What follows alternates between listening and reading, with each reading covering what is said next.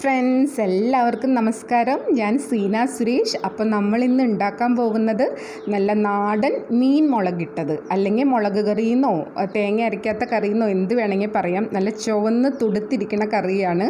നല്ല ടേസ്റ്റുമാണ് അപ്പോൾ ഞാനിത് നാടൻ മത്തി വെച്ചിട്ടാണ് ഉണ്ടാക്കിയിട്ടുള്ളത് കേട്ടോ അപ്പോൾ അത് എങ്ങനെ ഉണ്ടാക്കാൻ നോക്കിയാലോ? അതിനായിട്ട് കഴുകി വൃത്തിയാക്കി വെച്ചിരിക്കുന്ന അര കിലോ മത്തി അല്ലെങ്കിൽ ചാള എന്നും പറയും.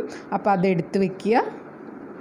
പിന്നെ വേണ്ടത് കുറച്ച് മഞ്ഞൾപ്പൊടി കുറച്ച് കാശ്മീരി മുളക് പൊടി. അത് നിർബന്ധമില്ല ഓപ്ഷണലാണ് പിന്നെ സാദാ മുളക് പൊടി മല്ലിപ്പൊടി ഉലുവ കുരുമുളക് പൊടി. അപ്പോൾ ഇതൊക്കെ റെഡിയാക്കി വെക്കുക. പിന്നെ നമുക്ക് കുറച്ച് ഐറ്റംസും കൂടെ വേണം. അപ്പോൾ ഒരു തക്കാളി ഞാൻ കഴുകി വൃത്തിയാക്കി വെച്ചിട്ടുണ്ട്. ഒരു ഒൻപത് ചുവന്നുള്ളി തൊലി കളഞ്ഞ് കഴുകി വെച്ചിട്ടുണ്ട്. പിന്നെ വേണ്ടത് രണ്ട് കഷ്ണം ഇഞ്ചി അത് നാടൻ ഇഞ്ചിയാണ് കേട്ടോ അത് തൊലി കളഞ്ഞ് വെക്കുക. ഒരു എട്ടല്ലി വെളുത്തുള്ളി ഒരു മൂന്ന് പച്ചമുളക് പിന്നെ ആവശ്യത്തിന് കറിവേപ്പില. ഇനി ഒരു മൂന്ന് ചീന്ത് കൊടമ്പുളി അത് ഞാൻ ചൂടുവെള്ളത്തിൽ ഇട്ട് വെച്ചിരിക്കുകയാണ്. ഇനി വേണ്ടത് വെളിച്ചെണ്ണ. അപ്പോൾ അതും എടുത്ത് വെച്ചിട്ടുണ്ട്. പിന്നെ കുറച്ച് ഉപ്പ് വേണം. അപ്പോൾ അതും എടുത്ത് വെക്കുക.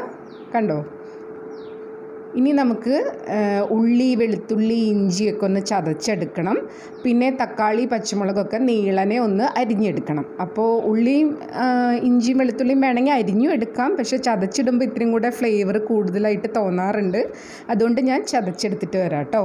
അപ്പോൾ ഇപ്പോൾ എല്ലാം റെഡി ആയിട്ടുണ്ട്. നമ്മുടെ തക്കാളിയും പച്ചമുളകും നീളത്തിൽ അരിഞ്ഞു വെച്ചു. വെളുത്തുള്ളി ഉള്ളി ഇഞ്ചിയൊക്കെ ചതച്ചെടുത്തു. പിന്നെ ആവശ്യത്തിനുള്ള കറിവേപ്പിലയും എടുത്തു വെച്ചിട്ടുണ്ട്.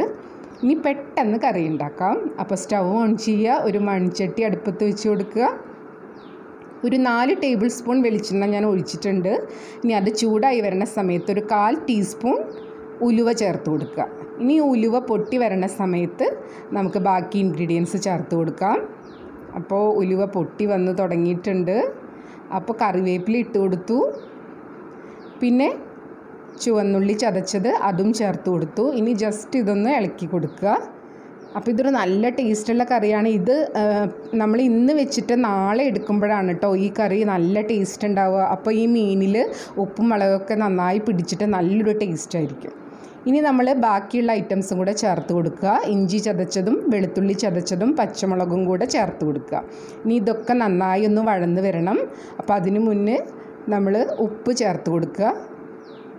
അപ്പോൾ ഇപ്പോൾ കുറച്ച് ഇത് വടന്ന് വരാനുള്ളൊരു ഉപ്പ് ഒരര ടീസ്പൂൺ ചേർത്ത് കൊടുക്കുക. പിന്നെ നമുക്ക് ബാക്കി ചേർക്കാം കേട്ടോ.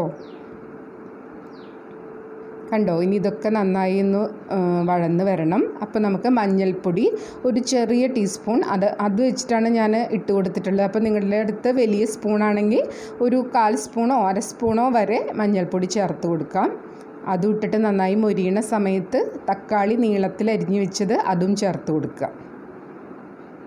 അപ്പോൾ ഇത് മത്തി വെച്ചിട്ടല്ല അയല വെച്ചിട്ടോ വേറെ ഏത് മീൻ വെച്ചിട്ട് വേണമെങ്കിൽ ഉണ്ടാക്കാം കേട്ടോ നല്ല ടേസ്റ്റായിരിക്കും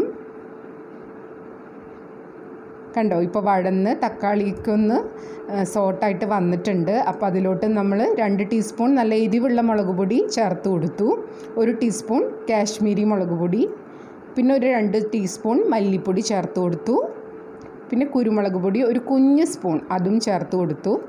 എന്നിട്ട് ഇത് നന്നായി വഴന്ന് വരണം. ആ പച്ചമണമൊക്കെ മാറി പൊടികളൊക്കെ മുരിഞ്ഞ് വരണം. അപ്പോഴാണ് ഈ കറിക്ക് നല്ല ടേസ്റ്റും കളറൊക്കെ ഉണ്ടാവുള്ളൂ. അപ്പോൾ ഇത്തിരി ടൈം എടുത്തിട്ട് തന്നെ വഴറ്റുക. പക്ഷെ കരിഞ്ഞു പോവാതെ ശ്രദ്ധിക്കുക. കണ്ടോ? ഇപ്പോൾ ഇത് മുരിഞ്ഞ് വഴന്നൊക്കെ വന്നിട്ടുണ്ട്.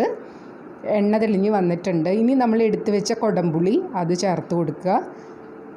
അപ്പോൾ ഇത് നല്ല പുളിയുള്ള കൊടംപുളിയാണ് കേട്ടോ. അപ്പോൾ അതിന്റെ വെള്ളവും ചേർത്ത് കൊടുക്കുന്നുണ്ട്. ഇനി ഞാനിത് കുറച്ച് വെന്തൊക്കെ കഴിയുമ്പോൾ പുളി നോക്കിയിട്ട് പുളി കൂടുതലാണെങ്കിൽ ഈ കുടംപുളി മാറ്റി വയ്ക്കും